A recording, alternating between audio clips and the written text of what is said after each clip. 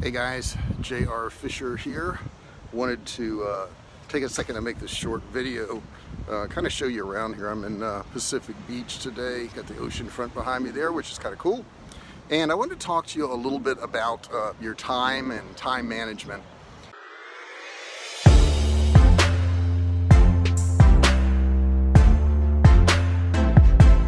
You know, I hear it a lot where people say, well, I just don't have any time, JR. I just, you don't understand how busy I am. I got so much going on. I, I got my job, you know, I got my kids. Um, I've got, you know, parents I'm helping to take care of. Um, I just, you know, I got commitments. I'm a coach at a team, you know, um, and I do some extracurricular things too. And, you know, I've got to have some downtime also, you know, that's important to me too. So I just, I don't have the time. And then I may approach them and I may say, well, what, what, what, about planning, planning out your time? And they'll say, well, I don't have time to plan. that's, that's the least thing I can do is plan. I can tell you what, I, I've just got to react to everything that's going on around me. Is that the truth? Do you have to just react to everything that's going on around you? I mean, is that, do you, do you want to react to everything that's going on around you until you have no more days on the face of the earth? Is that what you want to do? I don't. I can tell you if you if you work for yourself, I'll get the right angle here for sun. If you work for yourself, I think it's it's almost more pressure than if you work for somebody else. And I, I, tell you why, because you actually realize that whatever you've gotten done that day is because that's what you chose to get done that day. You know, that's a lot of pressure. You know, if you're if you're on a job and uh, you know you got to be at work at a certain time and you know you've got that commitment and they make you do certain things there's a little bit of pressure taken off you really. It's like, you know, well, they make me do this and I have to do this and this is what they're gonna pay me. So, you know, you say, well, I, am probably paid at the high end for my job, whether it's, you know, a cashier or whether it's a brick mason or whether it's a computer analyst, it doesn't matter. You know, you, you tend to kind of tell yourself that that's your lot in life. You know, you got this job and you are a computer analyst or you are a, um, I don't know, a gardener or you are a pool person you're none of those things. You're none of those things, okay? You are exactly what you've chosen to do with your time on the face of the earth. That's it. You are you're exactly that. You're you're no more than that, you're no less than that.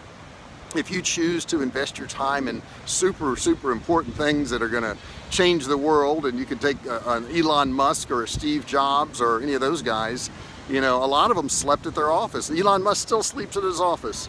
Um, I was listening to an interview the other day with Paul McCartney.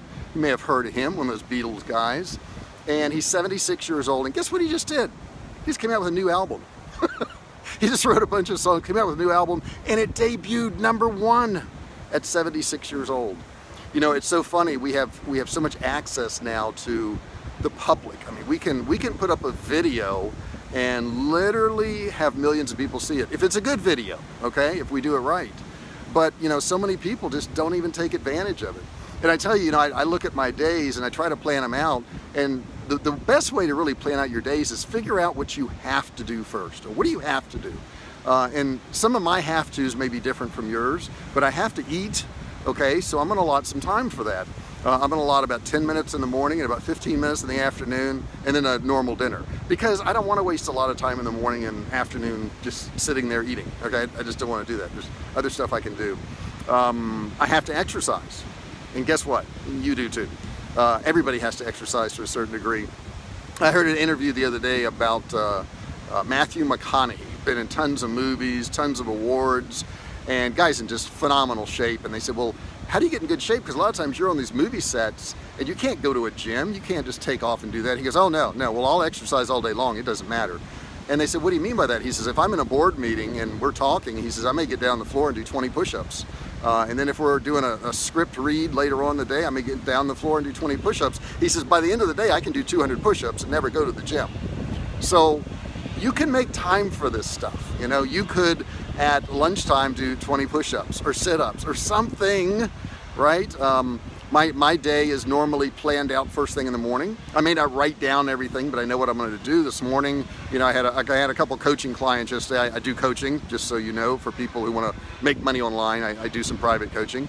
And I had two meetings yesterday, and uh, we videotape those meetings. And then what I have to do is I have to download those meetings Uh, they're on video and I have to put them up on a page and you know get them uploaded and all that. So that was the first thing I want to get done today because those people want their videos. They want to get their information. I know it's important to them. I tell them, and this is another thing I'm going to add, I tell them it'll take about four days to get their video up and I usually do it in 24 hours. Why would I do that? Because I want to under promise, over deliver you'll find that your clients like you for that, okay? When you do a little bit more than, you know, what's expected of you. So I did that first thing in the morning, I went for a little walk on the beach here. And as I walked on the beach, you know, uh, you could combine tasks too. I went through emails, I answered a couple voicemails, and I planned out this video. Believe it or not, this video is actually planned out. Yeah, you have to plan this stuff out. You know, everybody's got this 24 hours and you've got, you know, on average 73, 74 years to be on the face of the earth. The question is, are you a plumber? Are you a roofer? Are you an accountant? Are you you? Okay, so what are you going to do with your time on the face of this earth? You know, how are you going to spend it? Are you going to set time aside for the things that really count, like eating, sleeping, and exercising? Those are important. And then you move on to your family commitments and your children commitments. Um, and then everything else is decision time. You know, what do you want to do? How do you want to do it? You know, I, I was in the automotive industry for many years, and I know when I left it many years ago, I talked to some of the people there and they were miserable and they were in the automotive industry too and they said I'm gonna get out of here. I'm gonna leave. I'm gonna do this. I'm gonna do that. And to this day I can still talk to them because they're still in the automotive industry. They're still in some of the same jobs or they've gotten demoted and they've moved nowhere. And I'm not saying anything's wrong with that. If you're happy in your job that's awesome. Hey stay there. Do what you want to do. But if you're not happy um, it's a really tough existence to keep going to that job every single day when you're not happy at it when you're not doing what you want to do and the last thing I'll tell you is this. If you want a particular thing, maybe you want a house or a car, or you know, you want some fame or whatever it is, here's what you do. Here's how you crack the code. Go find out who's got what you want. If somebody's got a little bit of fame and they're a big time speaker or somebody's written a book and you think they're really cool, go find that person. See what they did, find out how they did it, what activities do they do every day. Did they get up at 4 a.m. and write 30 minutes before they went to their job? And they did that for a year and they ended up with a book and the book you know got out to the public and they got well known and then they could quit their job. Are you doing those little extra things that need to be done? Because it's simple. You just find somebody out there who's doing what you want to do you see how they're doing it and you do the same thing. Now here's another key. Try to improve on it and do it a little bit better okay? Like my videos with my clients um, I try to improve on that every time. I, I, plan out all of our meetings. I make sure they get more than you know, uh, what, what they signed up for. That's what's important, over deliver. So anyhow, that's a good way to plan your time and remember, you don't have any more time than I do. You don't have any less time than I do. We all have the same amount of time. How are you gonna choose to spend that time for the rest of your years? Entirely up to you. Hey, thanks for listening to this video. If you liked it, share it, like it, comment on it. If you didn't like it, tell me that too. Heck, put that down there. I wanna hear that too. So uh, until next time, I'll talk to you later.